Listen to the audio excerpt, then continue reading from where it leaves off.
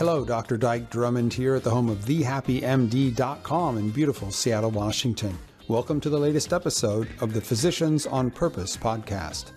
Tools so you can recognize and prevent your own burnout. Stories of burnout put to its highest and best use, and wellness leadership strategies. Everything you need to be a physician on purpose.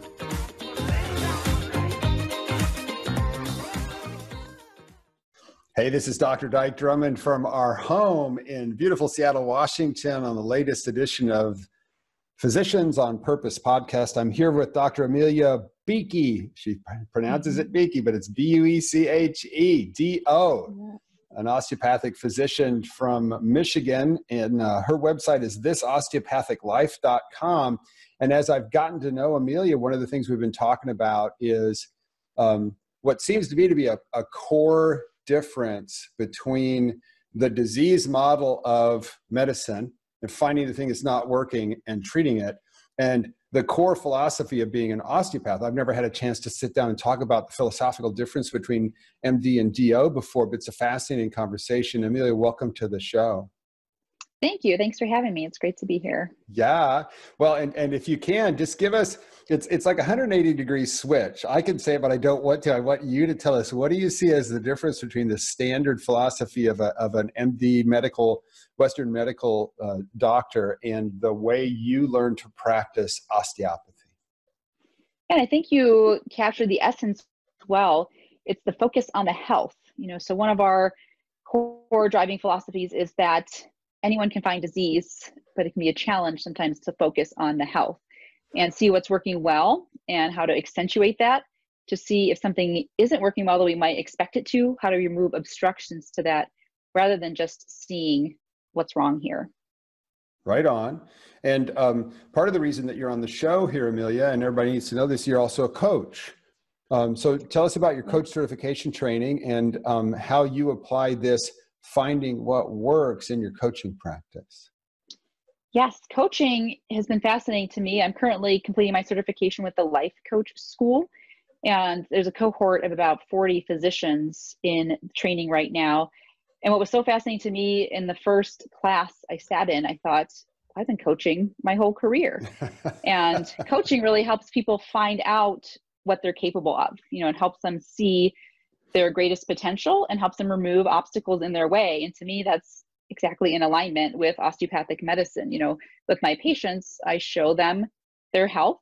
You know, we look at what obstructions might be in the way and we remove them. And some people think about removing them with hands on treatment, you know, removing obstructions in the skeletal system with osteopathy, and that's totally true, but also about removing obstructions anywhere in their life. You know, what's interrupting their health and their relationships with their work, with their thoughts, which is really tying into the coaching model with osteopathic medicine.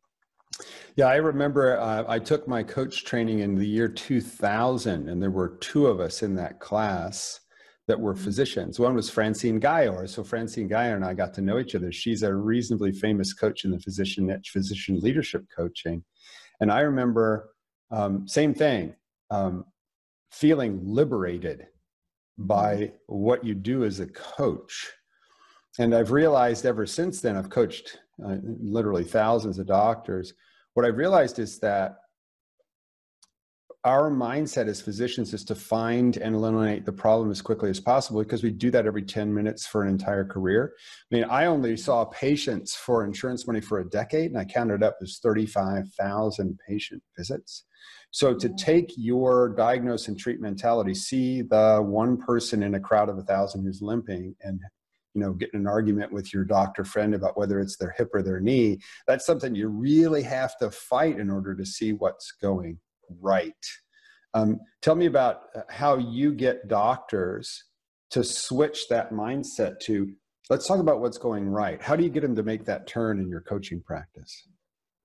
Yes it's a definite shift of responsibility you know and when i think about it with patients they want to come in and have an answer you know they want the diagnosis they want the treatment in that moment. And i found with my patients i was often saying well we might not know exactly what's wrong but we're going to find out and you're going to have the answers and i take that with me into my engagements when coaching physicians.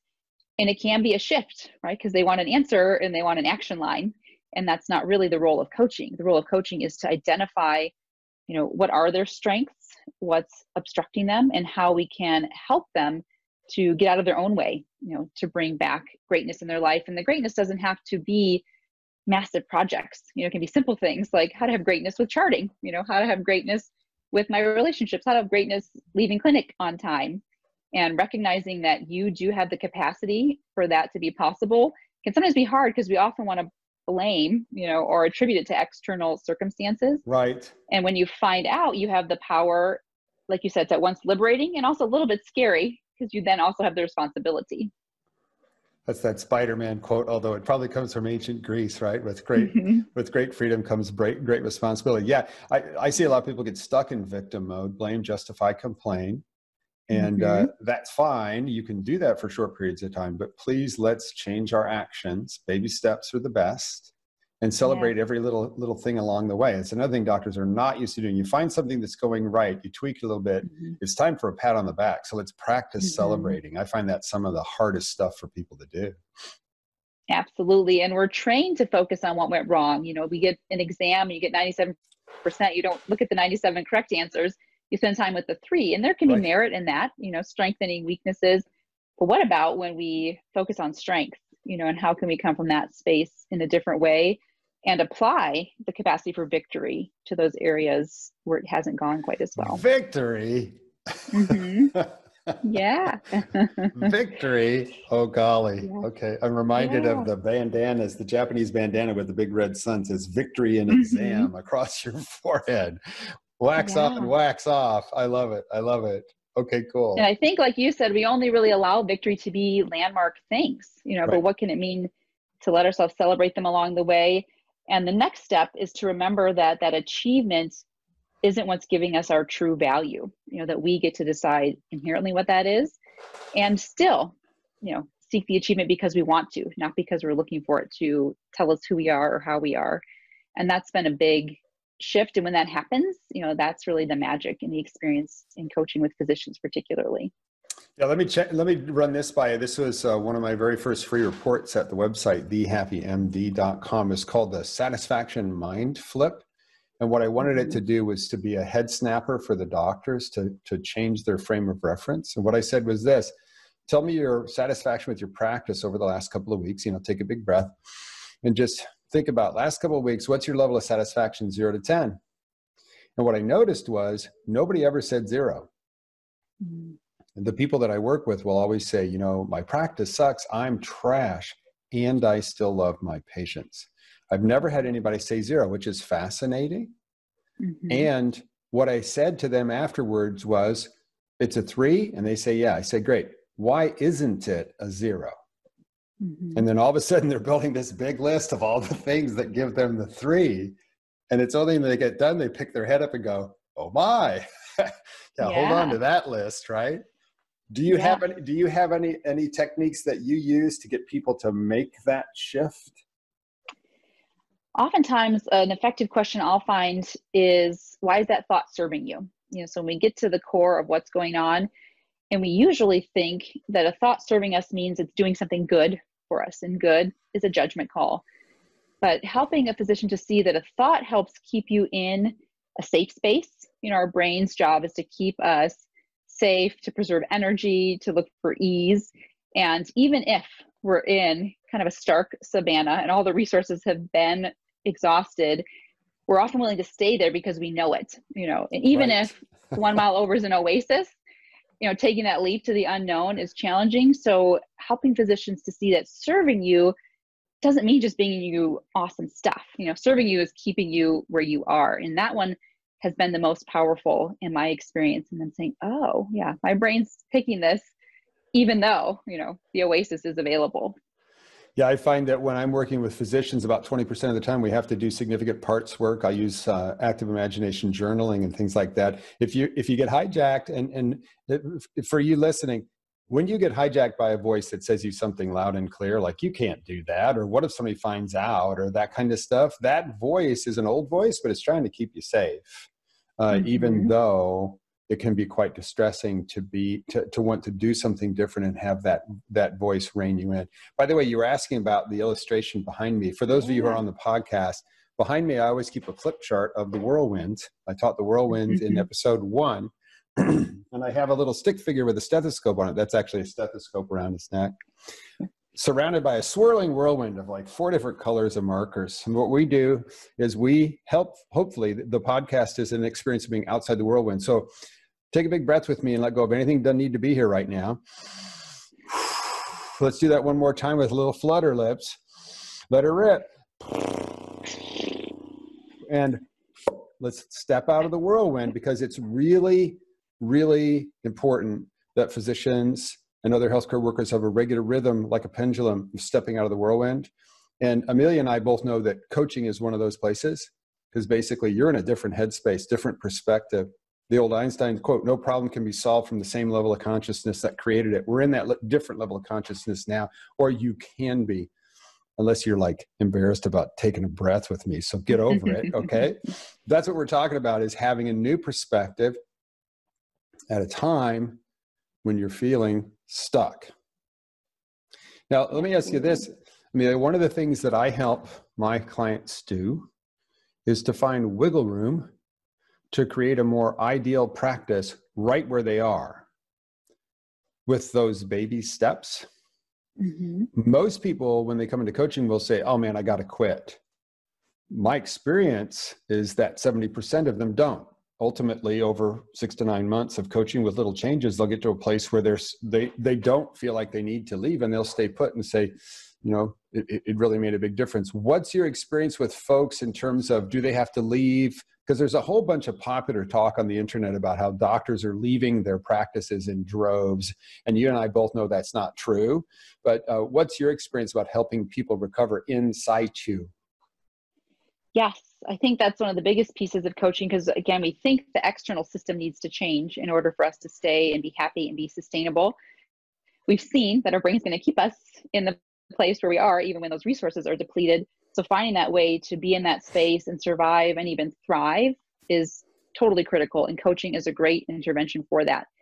And helping people to decide how they want to feel where they are and offering them ways to recognize that there are thoughts that don't require anything around them to shift, that they can choose to bring up the feelings that will allow them to more comfortably exist in the situation that they have. And kind of the secret sauce extra side effect is that oftentimes parts of the external environment do make some shifts. You know, because when we bring different energy to our workspace, to our interaction with patients, to our colleagues, to how we communicate with administration, they see that you know and it often becomes reflected. And so even if you're not fighting for change just being the change you know starts to shift that world around you and you don't need it to. So it's kind of a double bonus benefit. If you can convince doctors to do it because they see that as all sorts of hippy dippy woo soft stuff right? Sure but why why choose to suffer right? You know that's kind of the the proposal there do you think you can change your institution today? The answer is often no. No. Do you need to stay in this job or are you choosing to stay in this job for now? Yes. Okay. Would you like to suffer less while you're still there? I would, you know, and then we can segue into here are some tools how. And again, they don't have to be dramatic. No. I love the baby steps reference. One simple thought, you know, one simple way to approach charting can make a world of difference. Right right? Mm-hmm. i mean what i tell people is if if we start to work together and you start to contemplate making a change and when you contemplate this particular change you feel scared intimidated like you're going to fail something like that stop and look down at your feet and take a smaller step. Because ideally that first step is so small that you laugh when i suggest it Mm-hmm. Can you do five minutes of internet research on this topic tonight after dinner? That's your action step, right? Because mm-hmm. mm-hmm. people telescope, right? Uh, yeah, and when we have a result that we don't like, you know, we have choices. We can stay, we can go, we can work for change, and all those are possible. And during all of those, we can still be more comfortable, safe, secure, content while we're doing that. And I think that's really the hope that comes with coaching. And even if change is the thing, leaving from a happy place rather than a disgruntled and a forced place is a much more pleasant way to go and it builds bridges you know and it's of benefit to the system and to the individual. Yeah when i'm working with leaders who refer uh, uh, physicians to me i tell them look i'm not coaching them to stay. You got to know that. Two you can't know what we're talking about and i won't tell you. And three we're going to we're going to coach them to what's best for them and for if they leave it'll be clean. Yeah. No exactly. kerfuffle, kerfuffle mm-hmm. no pounding the table no bad feelings. Mm-hmm. and again it's only about 30% of the time that they actually do leave. By the way um, the other thing i've noticed have you noticed this that the people who do have to leave their job always have a conflict with their boss? Mm-hmm. Yeah it's pretty consistent. Psychopath bosses yuck. Yeah. Yeah. Yeah. And so there's a whole nother subset right? Yes. how do we work with the administrative arm? And and it's tough right? We can see that administrative jobs are tough. And we've seen that coaching has been used in executive levels in the non position world for years. And so right. bringing that into our culture you know has a benefit but it does require us to be willing to see the health and to see our responsibility. And that's a shift in mindset. Right your attitude is a choice and the other thing that mm-hmm. I, um, the, the key is that what what fluctuates is our ability to recognize we have the ability to choose our attitude. Because if mm-hmm. you say I'm going to have a great day today, it changes the day you have. Even if the events, Absolutely. if we were to have parallel universes, we would watch the events march out equally. And it's also super important when you're dealing with administrators, realize they have a, a whirlwind. Yeah. And, and their whirlwind as an administrator is a lot less fun because they don't get to hang out with mm-hmm. patients.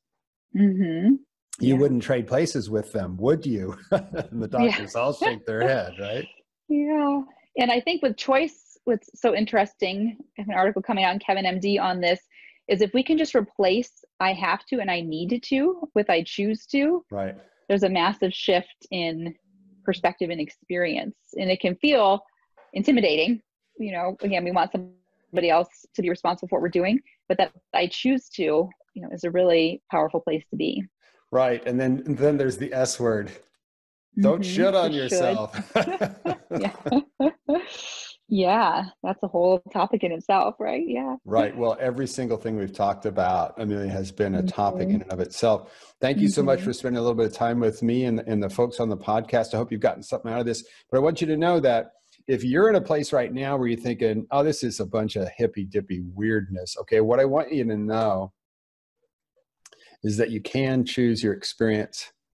And one of the things that helps, I think, is a phrase that comes from improv. That's why improv is so important. It's yes and. Yes and, right? yeah. I totally agree. Today sucks. Yes. Mm-hmm. And I'm not going to allow this fury that I'm feeling towards my current practice to occupy my brain, specifically not when I go home and I'm with my family. And we'll talk about boundary rituals in a later podcast. So, Amelia, tell the folks that are listening how they find you again. Yes, you can visit me at my website, www.thisosteopathiclife.com. That's also my Instagram and Facebook. And I have a blog and podcast by the same name. And she does regular recruiting into coaching programs. Uh, uh, we're recording right now at a time when I'm not sure when this will come out on the internet, so we're not going to pitch your next one because it might be past. But check out the website. Uh, stop yeah. in and say hi. I'm going to spell your yeah. last name again. B U E C H E. B Yes. And here's to the health of all things. Right on. Right on. Thanks a lot. Have a great rest of your day. Thank you. You too.